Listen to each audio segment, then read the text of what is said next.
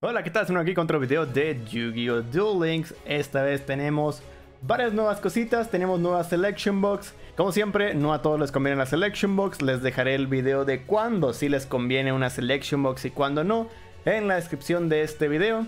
Pero el tema de aquí va a ser la promoción de 50% de descuento en gemas. ¿Qué cajas me conviene comprar ahorita para aprovechar esta nueva promoción? Ahora ya han incluido las cajas número 20, tanto la grande como la mini.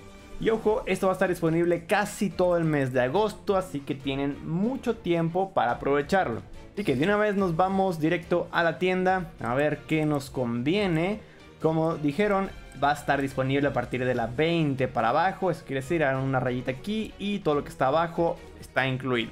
Y bueno, primero voy a dar mis recomendaciones de farmeos qué cajas te puede convenir muchísimo para unas cuantas cosas de farmeos. La primer lugar, y que de hecho también va, a convenir si quieres algunos arquetipos, es Guardians of Rock. Esta tiene todas las cartas para poder eh, usar tanto el Hermos como eh, el Critias, que está por acá. Igual tiene las dos cartas para hacer las fusiones.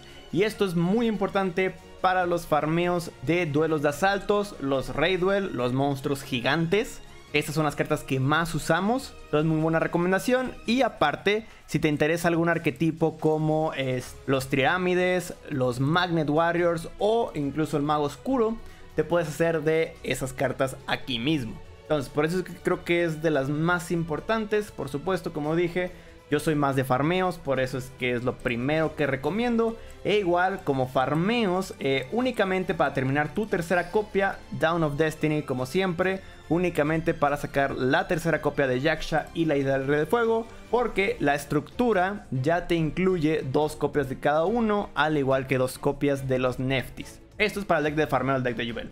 Y bueno, ahora sí, saliendo un poco de farmeos, ¿qué cajas te conviene generalmente? Lo mismo, aquí voy a poner varias cajas como primer lugar, ya que dependerá de cada quien. Yo las voy a ordenar, las voy a mencionar por cómo creo yo, pero de nuevo, yo soy más de farmeos. Yo sé que a algunas personas no les gusta farmear, por eso es que dejé varias en primer lugar. Yo me voy más también por la utilidad. Que cada una de las gemas sienta que algo eh, es útil de ella, que está saliendo siempre algo útil.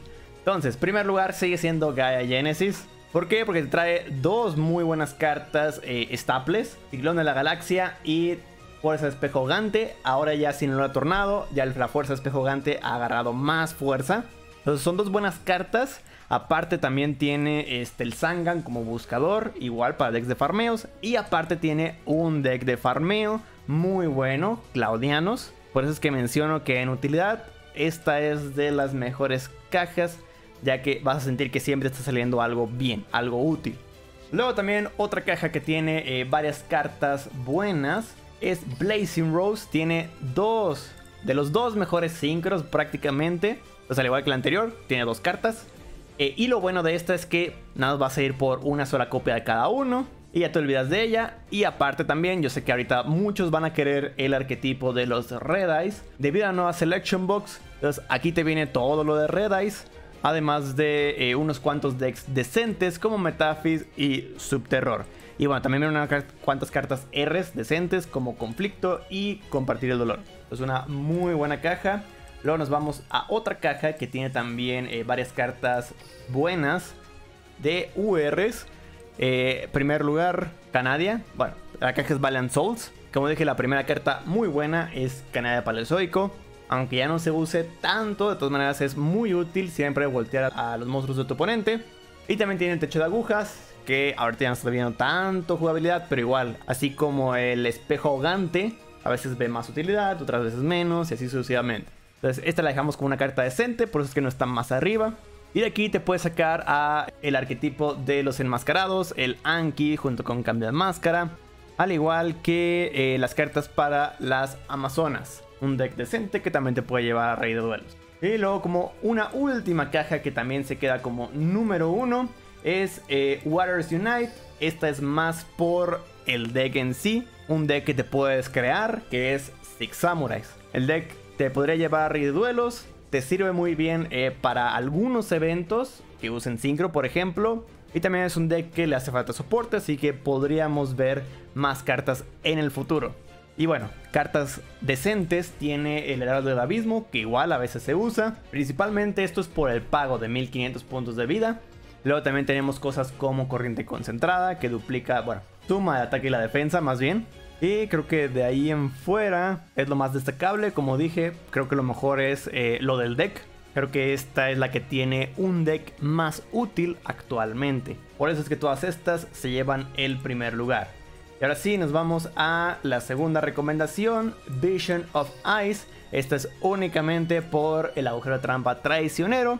Aprovechar que es una mini caja, que lo sacas súper rápido, te ahorras un ticket SR de aquí. Luego nos vamos a eh, Blackstorm Rising. Esto es debido a los decks actuales, así que esto se puede cambiar con el paso del tiempo. Aquí actualmente se usa el territorio de arpías para el deck de arpías. Pero también te vienen cosas eh, útiles para diferentes decks. Ejemplo, para el deck de Blue Eyes, cartas de consonancia. Para el deck de Black Wings, el Remolino junto con el Bora. O incluso eh, para decks como Dracunidad. Pero varias de esas cartas ya han sido reimpresas en estructuras. Ejemplo, esta carta también consonancia ya está en estructuras. Así que creo que te conviene más ir por la estructura. A esta caja únicamente es si quieres armarte arpías o blackwings. Como dije, esta caja es únicamente por el meta actual. Nos regresamos a otra caja que es eh, utilidad genérica, Servant of Kings. Varias cartas son decentes de aquí pared de disrupción, escudo drenador o el cáliz prohibido. El cáliz prohibido es el que tiene más utilidad, incluso ahorita se está viendo un poco. Es una de esas cartas que sube y baja en el meta. Entonces, aunque no sea tan necesario tenerla así como el traicionero, es una buena opción para venir. Si es que las cartas de las demás cajas pues ya las tienes o no te interesan de plan. Y ahora sí entramos al territorio de una sola carta, a la cual pues la verdad es que yo preferiría gastarme un ticket de ensueño en caso de que quisiera dicha carta. Ejemplo, Crimson Kingdom tiene varias cartas decentes, pero que ya muchas están reimpresas. Eh, ejemplo, Providencia Definitiva es una de las que siempre mencionaba. Ya está reimpresa en varias estructuras, entonces te las puedes conseguir con nada más gemitas, las aseguras pues. Así que la única carta que realmente conviene es el Gozuki, únicamente para deck de zombies. Pero como dije, pues mejor gástate un ticket de ensueño para él, ¿no? Lo mismo pasa con eh, Generation Next. Ejemplo, su exclusa es la única carta que quieres de aquí. Todo lo demás no es muy útil o ya fue reimpreso. Por más que diga de que no, pues el tocino es muy bueno. También creo que estaba el cráneo samurai, si no mal recuerdo. Sí, aquí está. Pero igual, todo esto ya fue reimpreso en una selection box o en una estructura. Así que los puedes sacar más fácilmente, teniendo más posibilidades de sacar otras cartas. Y la exclusa la sacas con el ticket de ensueño. Lo mismo con esta caja. No hay nada aquí. Únicamente Ciclón del Cosmos. Ticket de ensueño. Te olvidas de él. Lo mismo pasa creo que con la primera. Esfera Curibo. Ticket de ensueño. Vámonos. Y listo. Eh, recomendación general es siempre vean la utilidad de la caja. Si no encuentran por lo menos dos cartas que te interese de dicha caja, como dije con estas, usa el ticket de ensueño para conseguirte la única carta que quieres y te ahorras muchas gemas. Es mejor invertir de las gemas en cualquier otra caja, eh, incluso de las nuevas, aunque no estén en promoción. ¿Por qué? Porque te haces de un deck meta más actual. Pero bueno, eso será todo de mi parte. Espero les sirva estos consejos.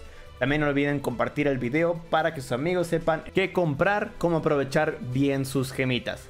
Vale, me voy despidiendo. Muchísimas gracias por ver este video. Recuerden dejarle like si les gustó. No olviden suscribirse al canal si no han hecho. Y nos vemos en la próxima. Bye bye.